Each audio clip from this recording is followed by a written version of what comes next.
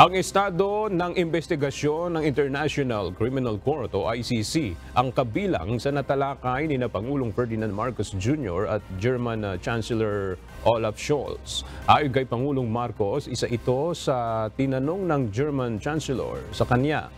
Binigyang diin ni PBBM ang kwestiyon sa jurisdiksyon ng ICC. Yes, you know, he brought it up in the, uh, in the lunch.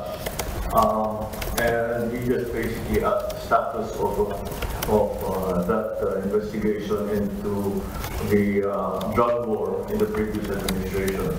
And I explained to him our concerns over jurisdiction